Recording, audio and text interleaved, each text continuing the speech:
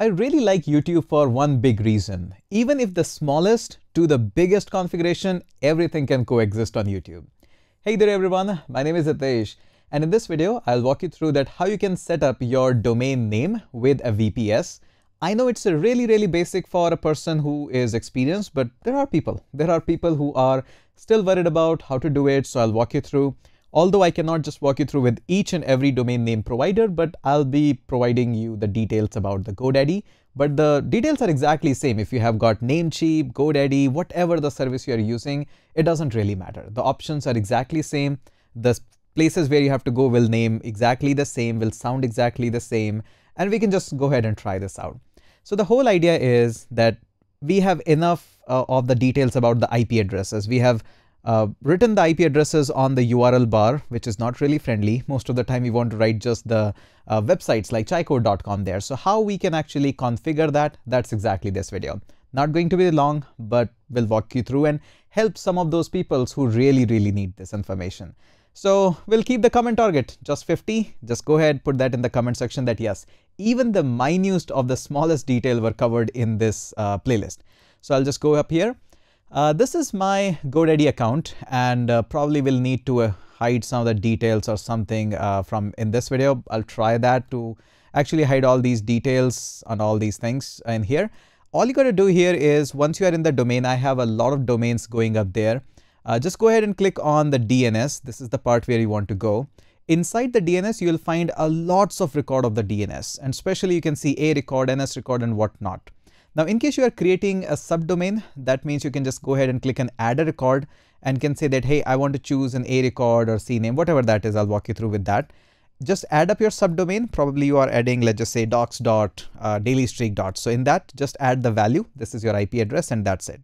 In my case, this is not the case. I'm not adding a subdomain. I'm adding a real domain. So from where the IP address needs to go, this is the IP address. So you can just go ahead and grab your IP address just from there.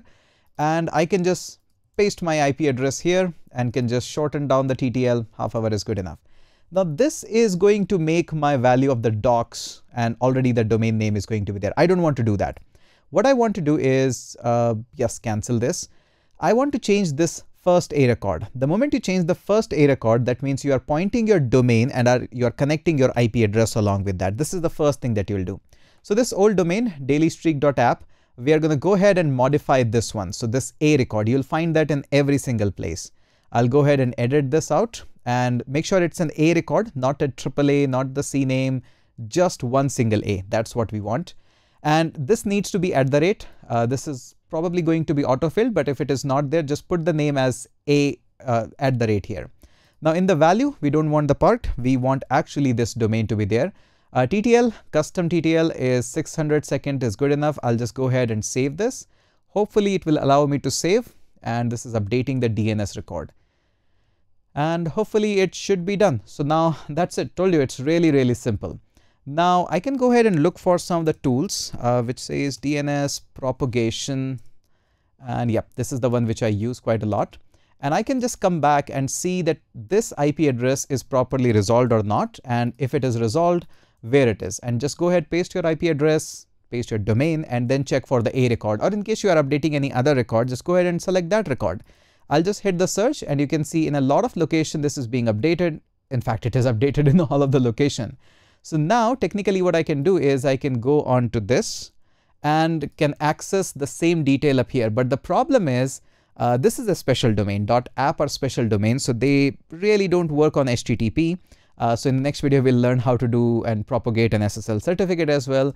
But probably, yeah, it's automatically redirected to the HTTPS as you can see in the top. Uh, the domain is supposed to work on only HTTP because that's where my server is listening. Nginx is listening. There is no SSL certificate. That's why it's creating a problem. So yes, we will solve that problem. There is no big deal, but this is the whole idea of how you actually put up your domain. Now these dot .app domain are really, really special. So that's why they only work on HTTPS and not on the HTTP. But other domains like .com, .in, .co, they all work on dot on port 80 as well and port 443 as well. That means HTTP and HTTPS as well. But you got the point. You got the point that how to do this, pretty simple, pretty basic stuff, nothing much to be worried. Yeah, just go ahead, grab your IP address, put up a record, put up on the domain, buy a domain and that's it. So really simple guide on how to set up a custom domain on a, on a VPS. Pretty simple. Let's go into the next video and learn how we can actually configure our SSL. Now that everything is matched, uh, we need to install a certbot so that we can configure free SSL certificates on our application on the Nginx so that our application can start working with that. We will also learn how we can deploy uh, some of the fun applications as well. Let's go ahead and catch up in next video.